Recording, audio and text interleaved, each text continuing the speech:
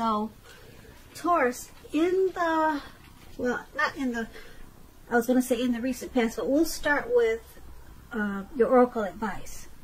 We have perception, and it reads on the flip side manage your mind when you direct your thoughts and words toward the outcome you most desire, you will ignite grace. And it's paired with I choose love, no matter what. So basically, for your advice for the month of March, manage your mind. Uh, try to stay focused. Direct your thoughts and, and your words towards the outcome that you want to achieve or obtain. And um, it's saying that make sure you put a lot of energy into uh, practicing love no matter what. So I guess that will help bring balance to your energy. If there's a lot of hate in your energy, then you could be thrown off balance in the month of March. So focus on uh, getting the mindfulness, managing your mind, and for you to do that, you need to let go of any negative energy, and that includes hate. So that's probably why the I chose I choose love card came up. I choose love no matter what. So that's your oracle advice for the month of March. Now let's move on over. Let's take a look at the recent past. We have Judgment and Queen of Cups. Now Judgment, it's a card about jumping to conclusions, decisions, and judgments, of course, that are too hastily made. If you know you're the type that's prone to doing such things, it's a signal that you need to slow down, slow down, give things more thought, give people more chances. Um, this could be a time of spiritual awakening when you get the judgment card. And that would have been in the recent past. Now, in the recent past, if you were in a relationship, it could have been a make or break period. Uh, it would have been a time to get very clear about what you wanted out of life and your relationships. And then take steps to make it come about. If you were single in the recent past, Taurus,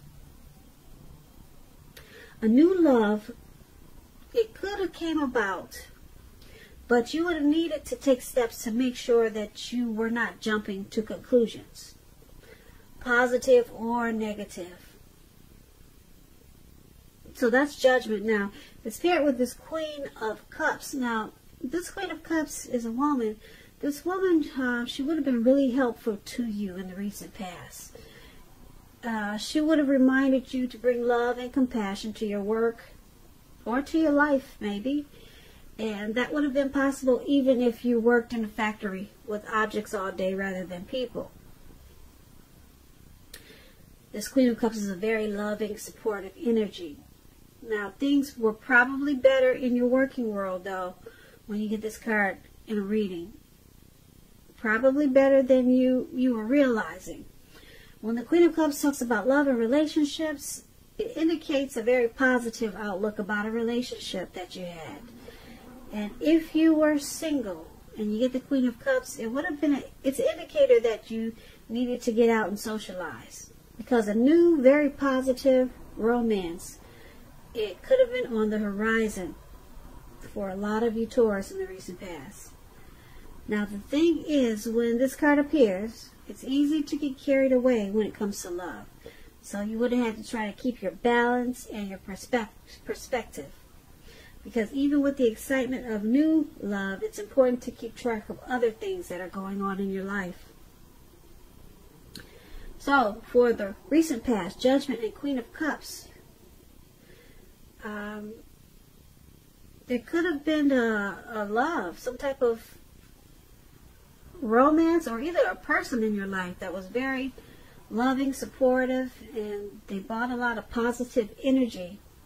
This person was really nurturing and healing. Um, but you probably jumped to a lot of conclusions with this person. So it probably caused this friendship or romance or maybe situation to be at a make or break stage. Yeah, because you were just not giving this situation or this person enough chances. And um, just making decisions too hastily. But this person was a positive person.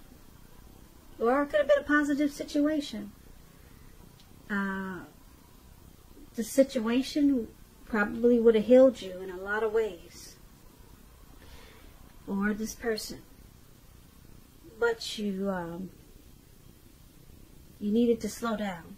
Your mind was running, your mind was running overboard with this person or this situation. So that's the recent past. Now let's move on to the present time. We have the Five of Pentacles and the Six of Pentacles. Now the Five of Pentacles, it's about a time that you could be feeling less than secure. Uh, the thing is to remember that there's always help when you need it from forces seen and unseen. Uh, in March, we're already in March now, yep. So you could be feeling alone. But you have the capacity to change that. So reach out. You might feel like you're being left out in the cold, as though everyone in the world has everything and you're the only one suffering. So realize that this is not the case. Do the best you can with what you have.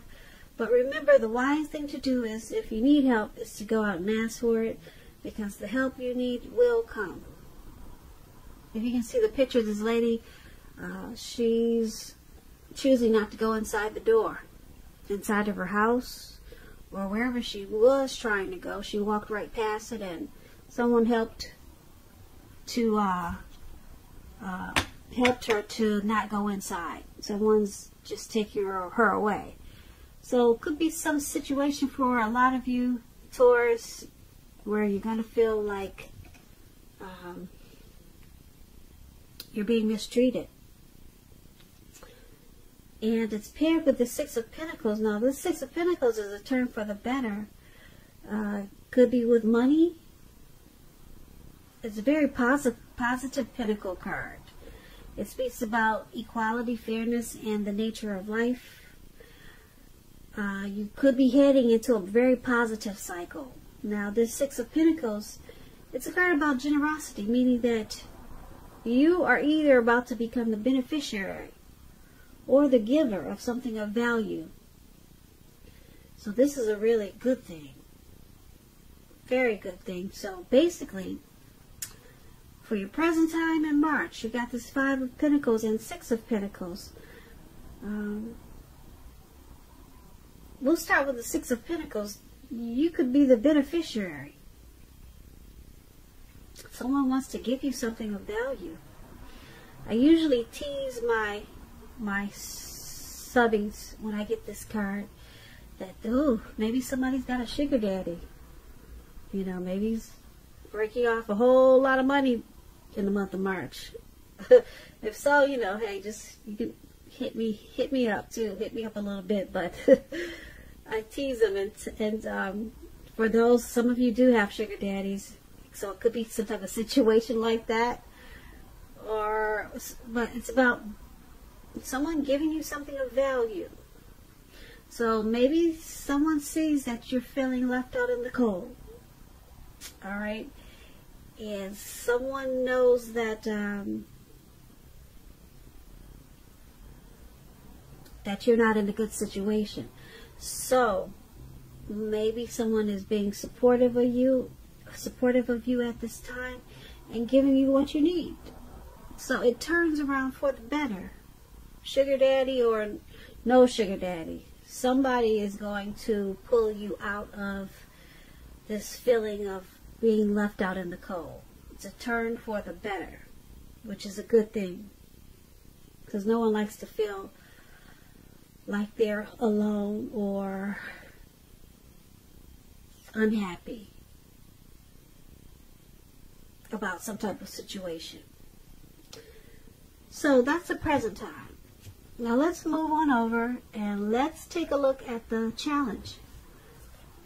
So for your challenge, we have the Seven of Swords. And it's with the Queen of Swords. Two swords. The swords are usually interesting cards. So let me explain the Seven of Swords if you don't already know. It's about someone behaving with less than ethical intentions. It can sometimes mean prying into someone's life where you don't belong. if for some reason you sense that someone is spying on you, you could be right. And if you're tempted to dig through someone else's life, unless it's that of yours, of your minor child, or someone who's giving you cause for concern, you need to resist that impulse because we all know everyone deserves privacy. That's the Seven of Swords. It's paired with the Queen of Swords. Now, the Queen of Swords, it points to a woman in your life. This woman is not to be trifled with. Often, she'll have hair on the darker end of the spectrum, dark eyes, dark hair. If this is not a person, it can point to the need for you, Taurus. A need for you to be forceful and honest in some situation just to get your needs met. You may need to put your foot down. This Queen of Swords, it can indicate that your instincts are serving you well. You already know what it is that you want and need. Now you just have to go after it. Like I said, this Queen is very forceful energy, and some people will find find this person abrasive. So for your challenge, Seven of Swords and Queen of Swords. So we got someone stalking you, Taurus. Someone could be using tactics, tactics and strategy and manipulation possibly also. Uh, someone could be playing games. That's what the Seven of Swords is about. So there's you might be feeling it, and then it might make make you feel like some situation you can't trust. Yeah, so it's with this Queen of Swords. There's going to be a, a need for you to be forceful with this stalking. So you probably know about it. And um, it could be a person that you know that's this Queen of Swords, someone coming to you like this, or it could be the person that's stalking you. This they have a very forceful energy. Yeah, they're not they're one not to be trifled with. This could be the person stalking you, or this could be you having this type of energy to deal with this this person who's playing games or being manipulative or just keeping their eyes on you. You may need to be forceful just to cut it out. So that's interesting. So that's going to be the challenge. Now let's move on to the outcome. The outcome, we have the Fool and the Ace of Wands. Now the Fool card is it's about newness in one form or another. It could indicate purity and and having an open open-hearted energy. And it can be like the innocence of a child. Children are trusting. Trust forms the basis for this card. This is usually considered a positive card, but there could be one thing. It's important to take time to make sure you're looking where you're going. Trusting yourself to take a step into the unknown, that's one thing. But if you do so without any thought whatsoever, it could be a mistake. And I say this because I, you probably can't see the card that well, but this man, he's just, he's just wanting to have fun. He's got an open, he has open-hearted energy, and he doesn't realize it, but he's walking off of a cliff, and he's walking straight forward into the Atlantic Ocean, some type of ocean. You can't see this picture too well, but surrounding below him is all blue water. So you need to pay attention to where you're going because you'll be having a lot of free for all energy in the month of March. It could be at the end of March or time is fluid when you get these readings. So it's not necessarily in March, but maybe around that time so there's some new beginning though. It's going to make you really happy, this new beginning, because it's very positive. It could be work, career, or it could be a family relationship. Some new beginning is coming in.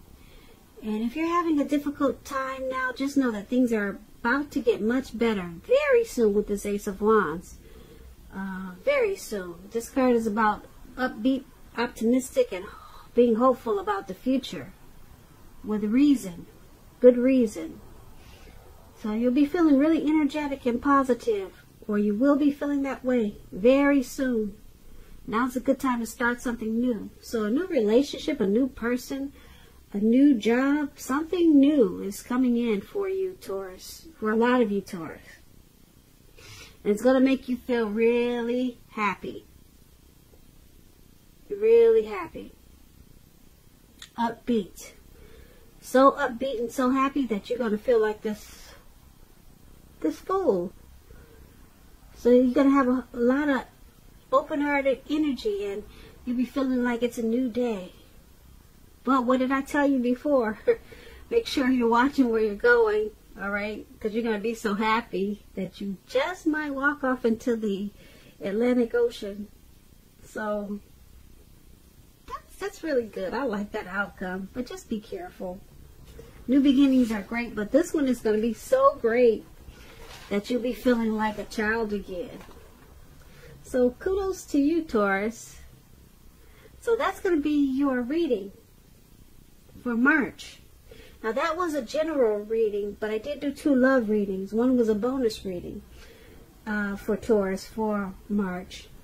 And so check those out, just in case you're in a relationship. They might find them helpful, and they might resonate with you. So just go to the home page, and you'll see the words Taurus bonus reading and Taurus love reading. And um, once again, I thank you so very much for watching. I really appreciate it. Please comment, subscribe, hit the notification bell. That way you'll be notified when I post my next reading. I hope that 2020 is going well for you. I hope that March is a beautiful month for you. And I hope that you have a great day. Once again, thank you so very much for watching. Watching. Watching.